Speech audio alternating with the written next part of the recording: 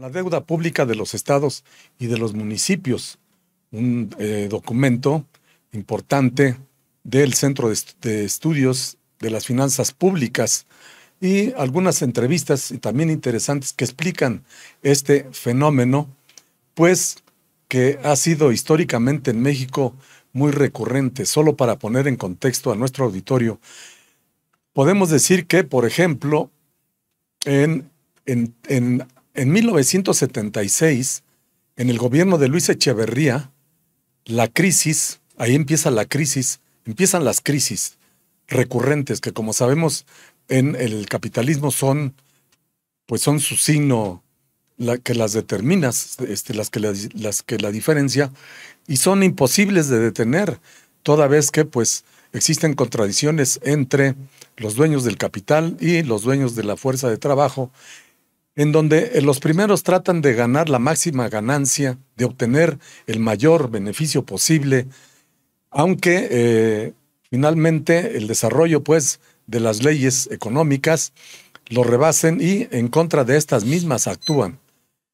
La crisis del 76 tuvo un, un endeudamiento del país de 50 mil millones de dólares, lo que representó el 35% del Producto Interno Bruto. La siguiente crisis se presentó con José López Portillo y subió a 150 mil millones de pesos, lo que representó 134% del Producto Interno Bruto.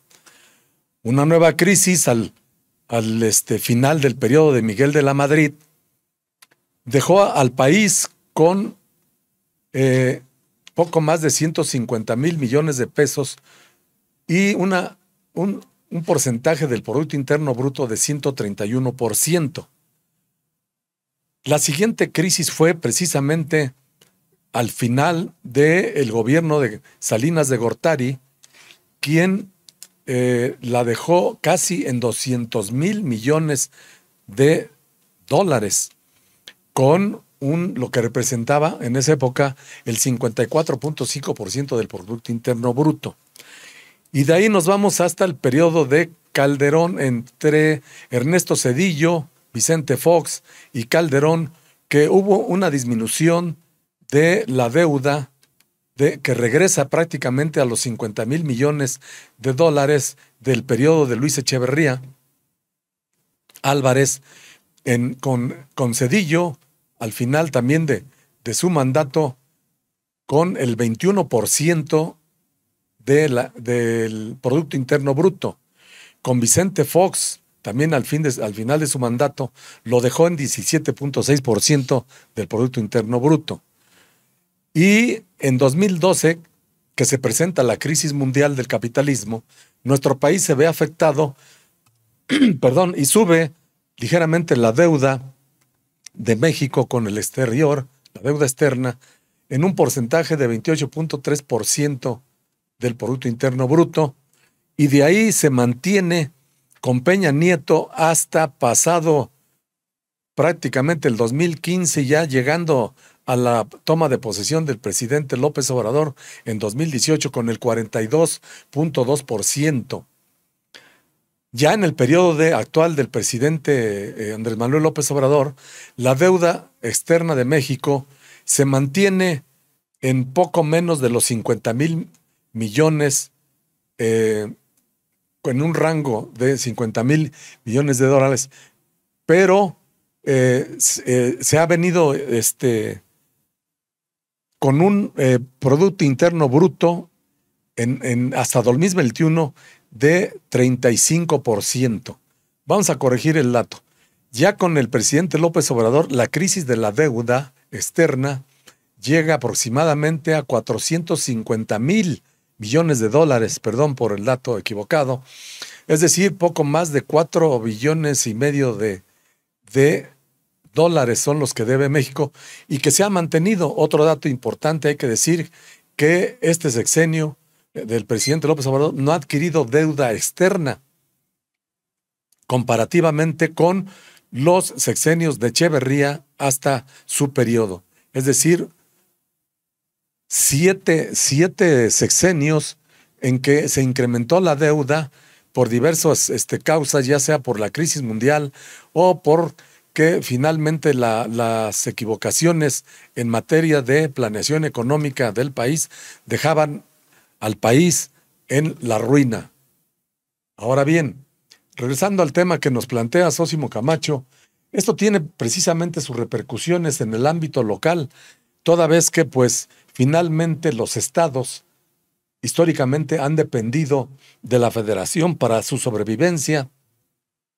en materia de recursos públicos al estar centralizados a través de la Secretaría de Hacienda y Crédito Público.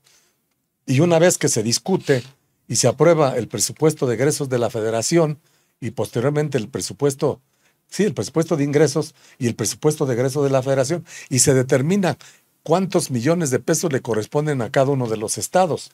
En ese sentido, de acuerdo al reporte que nos presentas el día de hoy, la deuda pública de estados y municipios aumentó solo en el 2022 en 17.571 millones de pesos, de acuerdo con el informe del Centro de Estudios de las Finanzas Públicas, con una cifra que cerró en este año, en este año del 22 en 684.395.8 millones de pesos. Encabeza, pues, la, entre otros, por supuesto, no es no es este, digamos, exclusivo de Coahuila. Eh, motivo de preocupación en todos los indicadores de la deuda, mientras que a contracorriente señalas en el reportaje que nos presentas hoy, Sósimo Camacho, de la política federal, los gobiernos de las entidades siguen endeudando a sus poblaciones. Quisiera que nos comentaras, Sósimo Camacho, los, los principales hallazgos que nos presentas hoy en tu reportaje sobre la deuda pública del 2022. Pues así es, José Reyes, pues precisamente ya te referías a esta deuda que implica eh, para los propios eh, mexicanos, pues a veces eh, saldos que pagar. Hay que aclarar algo, José Reyes, no necesariamente cualquier deuda es lesiva para los intereses de los mexicanos, las mexicanas. Hay que señalar que incluso una deuda adquirida mediante la normativa con claridad en el uso que se le daría a esos recursos, pues sirve para eh, promover la productividad, sirve incluso para eh, proyectos que vienen a beneficiar a los, eh, a los miles de familias. Entonces es algo que incluso pues eh, habíamos consultado también para este tema al doctor César Armando Salazar López, quien nos dice que la deuda por sí misma no debe ser motivo de preocupación si se cumple con la, la normatividad ya establecida. por ello dice que no se debe de entrada estigmatizar la adquisición de deuda ni pensar que es necesariamente mala a menos, señala, que no se cumpla con la normativa y no se tenga claridad en el destino de los recursos. Y es que hay que recordar, José Reyes, tú ya te referías a la deuda que México en términos generales eh, tiene adquirida como país, pero hay que recordar esto solamente en materia de eh, federal del gobierno federal y como bien señalabas, la intención del actual gobierno de Andrés Manuel López Obrador es no adquirir más deuda ya no seguir endeudando a los mexicanos, a las mexicanas, y que eh, por el contrario, dentro de lo posible, ir bajando el monto de la deuda, sobre todo aquella deuda externa que tiene México adquirido, y tendríamos que señalar, José Reyes, este dato en el que fue el, el gobierno de Ernesto Cedillo, para quien algunos siguen diciendo que era un gran economista, pues vaya gran economista que nos metió en un desastre, este supuesto gran economista, después del error de diciembre, terminó haciendo pública una deuda privada de los bancos. Esta deuda que hoy, al día de hoy, se debe todavía más de un billón de pesos. Es decir, más de un millón de millones de pesos hoy se deben, debemos todos, eh, de esta deuda privada originalmente que Ernesto Cedillo hizo pública por su torpeza también en la manera de dirigir la política económica de este, de este país. Y pues solamente recordar que precisamente cuando hay este tipo de fluctuaciones financieras internacionales como las que hemos estado viviendo hace algunas semanas a propósito de esta crisis bancaria allá en Estados Unidos, pues eh, si hay algún tipo de fluctuación, pues pega también a la deuda que ya se adquirió anteriormente y por eso hay datos que a veces señalan que sube un poco la deuda eh, en México eh, al día de hoy con respecto del año pasado, a veces baja un poco, pero eso tiene que ver con estas fluctuaciones, no a que el gobierno actual esté adquiriendo nueva deuda. Entonces, diciendo esto, José Reyes, en ese sentido, hay que señalar que no pasa lo mismo con los gobiernos de los estados. Los gobiernos de los estados siguen adquiriendo deuda, por supuesto que ellos tienen esa facultad que les da la ley, tienen que, eh, el requisito es que esta deuda sea aprobada por los congresos locales y pues ya nos lo advierte también el propio investigador César Salazar, quien eh, pues hay veces que tienen mayoría eh, a modo en los propios con, este, congresos locales y generan estas mayorías y aprueban eh, más endeudamiento y que hay veces que no se tiene certeza sobre el uso que se les da a estos, a estos recursos. Entonces, sí, José Reyes, son, como ya bien comentabas, solamente en un año la deuda de los estados y municipios del país aumentó en 17 mil 571 millones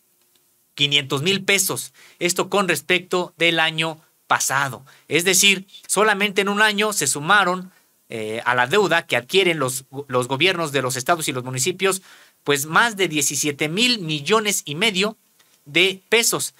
Hoy la deuda eh, que deben todos los estados, no el gobierno federal, los gobiernos de los estados y los municipios asciende a 684 mil 395 millones 800 mil pesos. Y también aclarar, José Reyes, que uno podría pensar que el Estado que mayor deuda tiene es el que eh, podría ser sospechoso de malos manejos de esta deuda. Pues no necesariamente es así, porque no podemos comparar, por ejemplo, la deuda de la Ciudad de México con la población más grande o una de las más grandes de toda la República,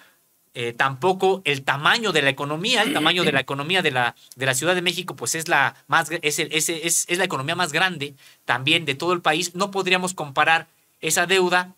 de, así a rajatabla con la que tienen otros estados de la República con poblaciones eh, mucho más reducidas, con un tamaño de la economía pues mucho más pequeño. Entonces, no necesariamente el, eh, eh, la entidad federativa con mayor deuda es la que tiene un mal manejo de ella o es que se ha endeudado de manera arbitraria. No necesariamente decíamos porque hay controles que en algunos casos se observan y decíamos todo tiene que ser aprobado por el Congreso. Hay por eso indicadores, José Reyes, hay indicadores que señalan eh, o que dan muestras de advertencia. ¿Y esto con qué tiene que ver? Pues cuando el per cápita, es decir, el número de la población,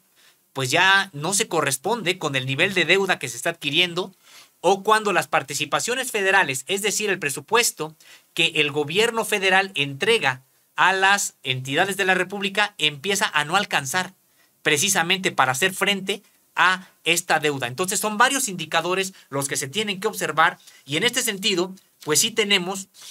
dentro de varios indicadores, uno de ellos es la deuda per cápita. Es decir, cuánto eh, debo yo si estoy en la Ciudad de México, por poner un ejemplo, o Coahuila, que es uno de los estados donde siempre sale con alerta y tiene elecciones este año, eh, eh, o, si estoy en Quintana Roo, otro de los estados con problemas, eh, ¿cuánto debería, cuánto debo yo si es que se tuviera que pagar entre todos los habitantes de este estado? Entonces, por poner unos datos, José Reyes, resulta que el estado con la mayor deuda per cápita, es decir, por persona, es Nuevo León. Cada ciudadano de Nuevo León, ciudadana, tendría que pagar, si lo pagaran de manera entre todos, 17.112 pesos. Los ciudadanos y ciudadanas de Chihuahua tendrían que pagar 13.146. Los de Quintana Roo, 13.048. Los de Coahuila, 11.973. Los de la Ciudad de México, 11.009. Y los de Sonora, por poner otro ejemplo, 9.444. Son parte de los motivos de alerta cuando se advierte que ya es mucha la deuda para el tipo de población que tiene y aunque hay entidades con montos abultados, como en el caso de la Ciudad de México, pero por el tamaño de su economía, pues no es precisamente la que tiene los, los primeros lugares en materia de deuda per cápita. Así es, Osimo. Incluso hay que tomar en consideración que la economía nacional, dependiente también, por supuesto, del desarrollo de la economía mundial, pues tuvo el traspiés, como todas las naciones, a raíz de la, epidemia del COVID-19, en donde pues se redujo el crecimiento económico y se contrajeron algunos indicadores de la economía del país. En ese sentido, como bien lo señala Sósimo, en efecto no hay, digamos, una, un correlato necesario entre el mayor número de deuda de X entidad federativa con eh, la, proporción que genera para el Producto Interno Bruto. Señalas en concreto cómo dos, dos este, gobiernos locales, el Estado de México y Coahuila, son de los que más se endeudaron en este periodo de 2022. Precisamente, vamos a pensar mal, porque pues para ellos ya se trata el año de Hidalgo, y pues hay que lo paguen las próximas generaciones. A ellos no les, este, ya no les interesa cómo dejan bancarrota prácticamente las finanzas públicas, como ocurrió por ejemplo con Sonora, que hasta se llevaron los lápices, etcétera. En ese sentido, incluso una lista ya pues que es de dominio público, señala y que además lo refieres en, la, en, tu, en tu reportaje de hoy, Sósimo, establece que la Ciudad de México encabeza la deuda, de su deuda con 91.016 2.2 millones de pesos. Nuevo León, de cuyos este, habitantes acabas de decir cuánto debe cada uno, adeuda 87.733 millones, de, 73 millones de pesos. El Estado de México, gobernado por, el, por Alfredo del Mazo Maza, deja una deuda de 59.577 pesos. Chihuahua, de 50.276 millones de pesos. Y Veracruz, de 46.483 millones de pesos. Es decir, ¿cuáles son los estados que finalmente eh, tienen menos deuda pública? Entre ellos destacan, por supuesto, Tlaxcala, pero hay que decir que Tlaxcala pagó su deuda también recientemente con el nuevo gobierno encabezado por Morena. Eh, Querétaro, gobernado por el PAN, Baja California Sur, Guerrero y Campeche, cada uno con deudas inferiores a los 3 mil millones de pesos. Ese contraste entre estos estados y los que más eh, deuda tienen, este, pues se observa precisamente con lo que acabas de señalar, Sósimo, en el sentido de que depende, pues, del el desarrollo económico y de las condiciones concretas de cada estado, así como de las decisiones políticas, de las decisiones de carácter de política económica de cada estado y de las aprobaciones de los congresos locales, porque hay que decir que cada estado depende del congreso local, que también, pues tampoco, como se sabe, por supuesto, es dominado muchas veces por una sola fracción partidista. De ahí que pase, digamos, este, en automático la aprobación de X deuda y que lleguemos a estos resultados. En efecto, la diferencia radica en dónde está la em, inversión pública, a qué se destina ese, ese, esa deuda y el periodo de plazo a pagar, así como los montos respecto de los intereses que se deberán de cubrir. En general hay que decir que la preocupación del gobierno federal es disminuir al mayor este, monto posible la deuda al término del mandato del presidente López Obrador, tomando en consideración que incluso ha habido ofrecimientos multimillonarios, por supuesto, de esta cadena de endeudamiento que ha provocado el Fondo Monetario Internacional, en donde se tienen disponibles, señalan ellos, y lo lanzan pues al aire para que los gobiernos de, México se sigan embarcando en una nave que no lleva rumbo en materia económica, toda vez que si no hay crecimiento que depende precisamente de la actividad productiva de todos los mexicanos, pues con qué se va a pagar en el futuro y con ello, por supuesto, endeudando no diga, ya no digamos al país, sino a los habitantes que perciben menores ingresos y por supuesto afectando los programas sociales que han venido a paliar un tanto la desigualdad y la pobreza de nuestro país. Así es, y solamente para dar un dato, otro indicador, hay que recordar que todos los estados de la República reciben participaciones federales, es decir, recursos que desde la federación se trasladan a los estados para que eh, se eh, están etiquetados en materia de servicios de salud, de educación, eh, etcétera, y que pues cada estado dependiendo también con el número de su población pues recibe estas participaciones federales. Estamos hablando de aquellas de el ramo 28. Y si comparamos lo que el estado, perdón, lo que la federación da a estos estados con lo que deben, lo que ya tienen de deuda, que además hay que recordar otro asunto, que la mayoría se debe a privados, no a la banca eh, pública, a la banca de desarrollo, sino a la banca múltiple, a los bancos privados. Hay que eh, señalar algunos datos que también, pues sí, empiezan a generar preocupación, porque eh, hay entidades como en Nuevo León, donde el monto de su deuda ya representa el 195.4% de las participaciones que recibe del gobierno federal. Es decir, debe ya casi el doble de lo que recibirá en este año, en el caso de Nuevo León, pero están los otros casos también. Por ejemplo, Quintana Roo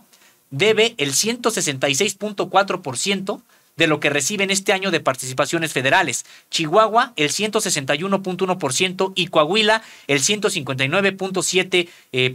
También está el caso de Sonora con 110.1%. Pues solamente son unos datos que dan cuenta de ya motivos, de señales de preocupación con respecto, ojo, no de la deuda federal, la deuda adquirida por el gobierno de la República, sino por las deudas adquiridas por cada uno, cada una de las entidades federativas de los estados de la República. Y sí señalar eh, lo que tú comentabas, José Reyes, el único estado que tiene 0.0 pesos de deuda, es decir, no tiene deuda, es Tlaxcala. Todas las demás entidades de la República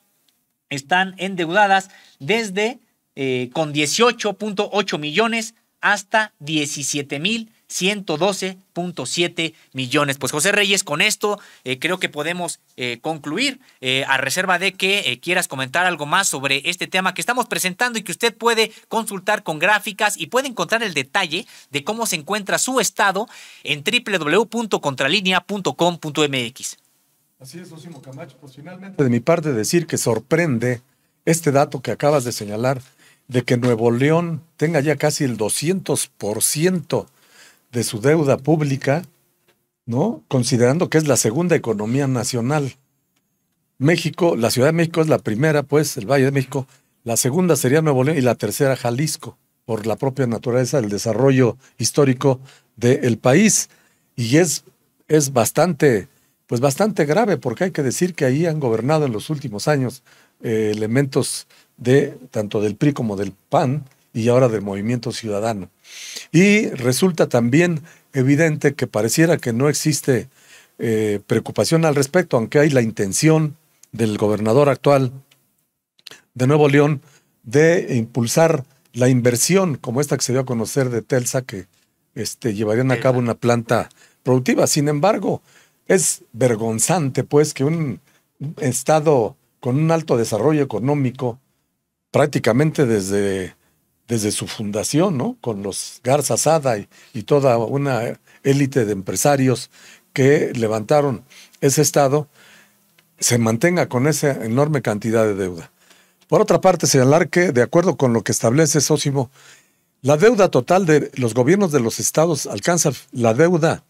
una cifra de 601.117 millones 600 mil pesos, es decir, el 87.8% y la de los entes públicos estatales, 43.342 millones, el 6.3%. Los municipios representan 37.701 mil millones de pesos, el 5.5%. Y finalmente, los entes públicos municipales suman 2.234 millones 800 mil pesos, o el 0.3%. Hay que destacar un último dato, Sósimo, si te parece, que significa ¿Quiénes son los principales acreedores de los gobiernos de los estados y municipales? Curiosamente son los bancos privados, la banca que nunca deja de hincharse y que además ha sido una de las beneficiarias, pues desde, no solo desde la, el, error de diciembre de Ernesto Cedillo, en que pues el Estado mexicano asumió la crisis, pues, que envolvió a todos los mexicanos en un verdadero embrollo para poder salir adelante. La banca múltiple en este caso, ahí es donde se concentra la mitad del crédito otorgado, es decir, de los 601.117 millones de pesos que adeudan los gobiernos de los estados, a la banca se le deben 367.722 millones 700 mil pesos, es, es decir, el que representan el 53.7% del total. En segundo lugar, la deuda de los estados con la banca de desarrollo pública es de 254.498 millones de pesos, el 37% del total, mientras que finalmente compromisos con emisiones bursátiles son de 53.530 millones de pesos, el 7.8%, y otros conceptos como fideicomisos que significan el 1.3%. Es decir, los bancos, pues, como se observa en esta tendencia alcista de la deuda estatal de los estados, significa que van a seguir,